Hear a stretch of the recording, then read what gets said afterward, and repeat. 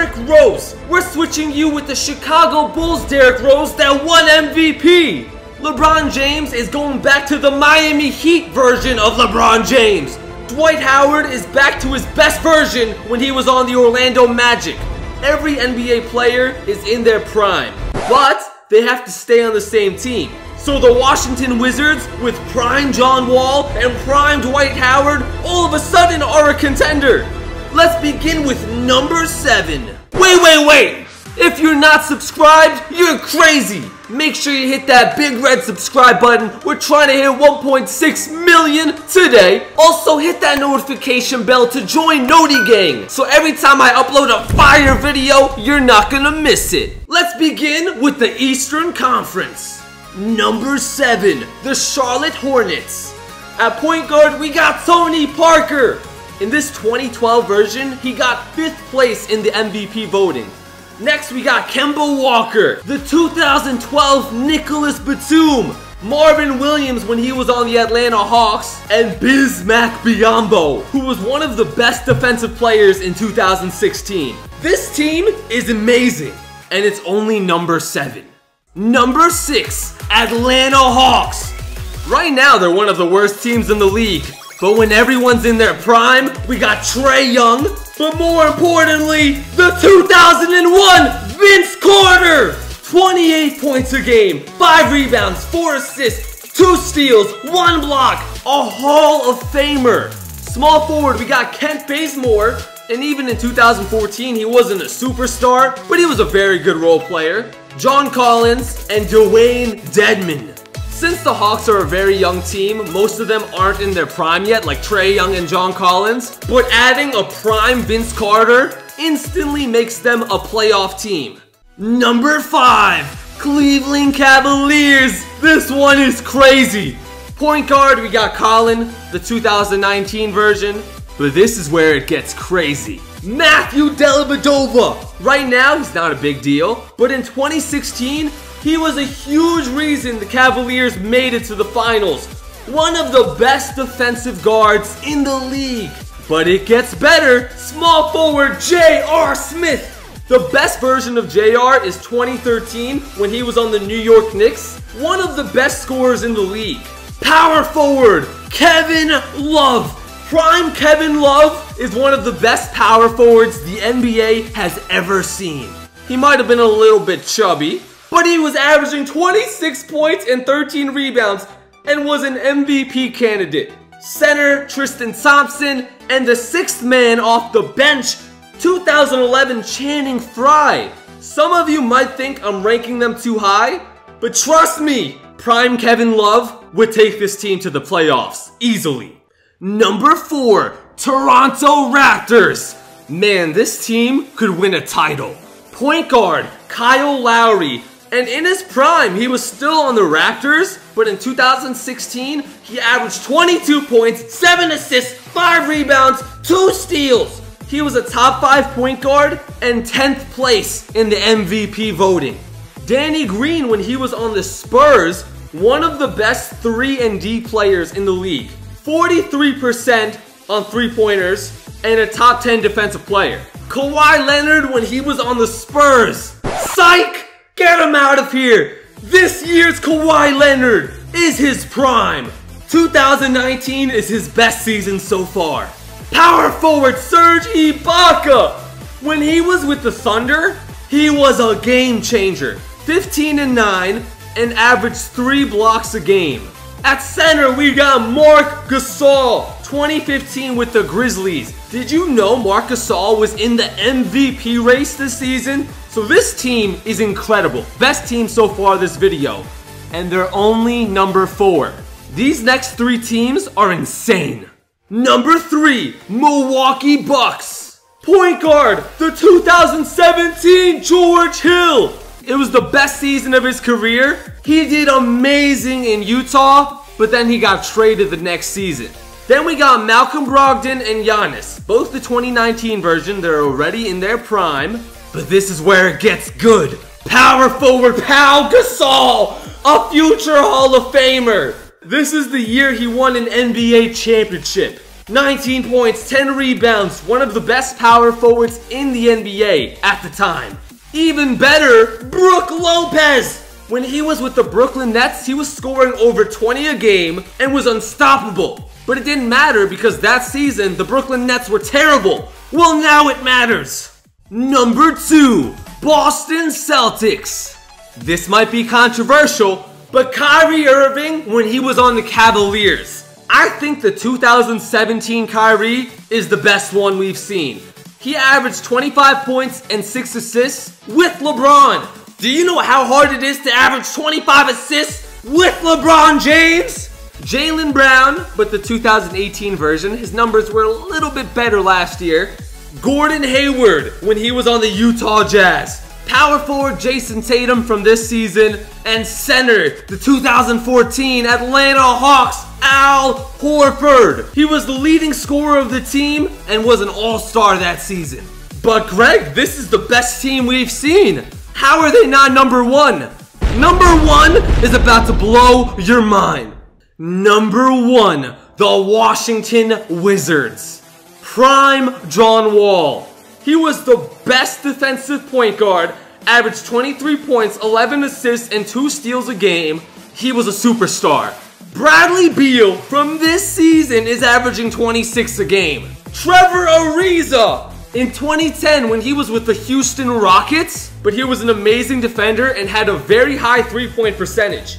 2017, Jabari Parker, 20 points per game. Oh my goodness. Before the injuries, that guy was a superstar. And our center, who is barely a part of the Wizards right now, but technically he's on their roster, Dwight Howard. When he was on the Orlando Magic, he was the best center in the league for years. His stats that season are so disgusting, they deserve a moment of silence. But if you thought these were good, they are nothing compared to the Western Conference. Number 7, Memphis Grizzlies. At point guard, we got Mike Conley, and surprisingly, this is his best season right now. Avery Bradley. In case you forgot, when he was on the Boston Celtics, he was the best defender in the league, averaged 16 points a game, and was one of their most valuable players. What happened to him? I don't know. Small forward Chandler Parsons. On the Houston Rockets, he was one of the elite up-and-coming scorers. Power forward Jonas Valanciunas from this season, and center. Oh my goodness, Joakim Noah. With the Chicago Bulls, Joakim Noah won Defensive Player of the Year, made the All-Star team, and averaged the most points of his career. Number 6, Utah Jazz. This team is a little weird. At point guard, we got Ricky Rubio, but we're gonna use the 2016 version when he was on the Timberwolves. Donovan Mitchell this season. At small forward, we're using Kyle Korver from the Atlanta Hawks. In 2014, Kyle Korver was an all-star. Power forward, Jae Crowder. Just like Avery Bradley from the Grizzlies, Jae Crowder was so much better on the Celtics. And center, Rudy Gobert. Sixth man, they got Derrick Favors, but the 2016 version, who was incredible. Number 5, Dallas Mavericks. Let's just skip to power forward. We got Dirk Nowitzki, the 2017 version that won MVP, one of the few NBA players to ever have a 50, 40, 90 year. Point guard, Devin Harris, the All-Star version. Yeah, there is an All-Star version. He averaged 21 points and 7 assists. Tim Hardaway Jr., when he was on the New York Knicks last year. And of course, our small forward, Luka Doncic. And center, well, they don't have a good center. That's why they're only number 5. Dwight Powell. If they had another good big man, they would probably be top 3. Number 4, OKC Thunder. Point guard, we got my guy Russell Westbrook, but let's switch him with the 2017 version. This is the year he won MVP and probably his most efficient season so far. Then we got Dennis Schroeder, but we're gonna use the 2017 version when he was on the Atlanta Hawks, averaging over 19 points a game. Paul George is our small forward. Wait a minute, get that Indiana Pacers version out of here. This season was the best season of his career, the 2019 version. Markieff Morris, who barely gets any playtime now, but in his prime with the Phoenix Suns, was actually really good. Steven Adams is our center, and the sixth man, Raymond Felton, in his prime with the New York Knicks, he actually averaged 17 points a game. These next three teams are the three best teams in the entire video. Number three, Los Angeles Lakers. Point guard, Lonzo Ball. Just kidding, move him to the bench because we got prime Rajon Rondo. Oh yeah, did you know in 2011 he was an all-star? He was 8th place in the MVP voting. 12 points, 12 assists, and 4 steals a game. Do you know how crazy that is? He's a huge reason the Boston Celtics won titles. Then we got Lance Stephenson back when he was on the Indiana Pacers. LeBron James! This is a tough one, but I think his best version was with the Miami Heat in 2013. It wasn't his highest scoring season, only 27 points a game, but he won MVP, he won a title, and it was the only time in his career he averaged over 40% from the three-point arc. His most complete season of his career. Kyle Kuzma at power forward and Tyson Chandler. He was an all-star in 2013. This team has an amazing point guard, three great scorers, and one of the best defensive players of the last decade. Number two, Minnesota Timberwolves. I'm excited about this one.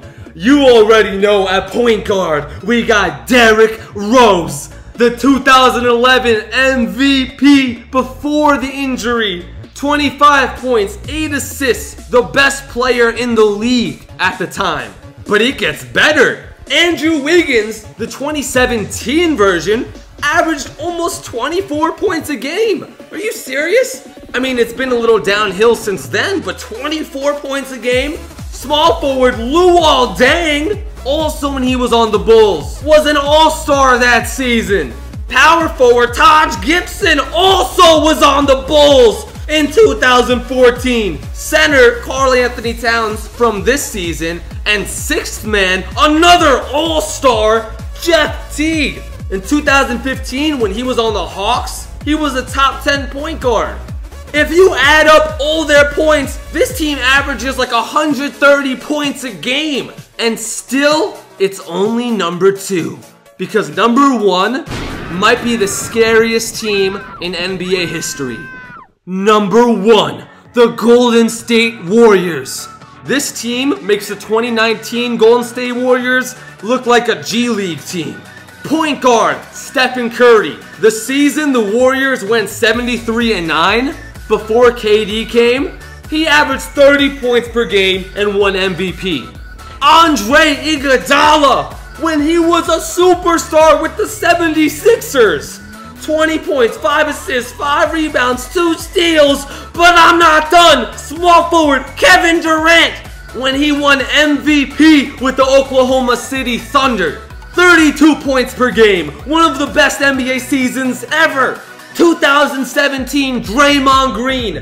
Not the best offensive player, but he won Defensive Player of the Year.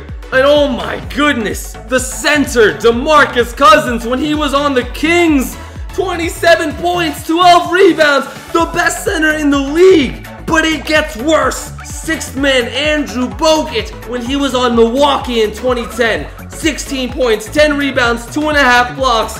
If every NBA player was in their prime, this is the best team. Last video was the worst draft comparisons ever. Go watch that. That video was crazy. I'll put it somewhere on the screen for you to click.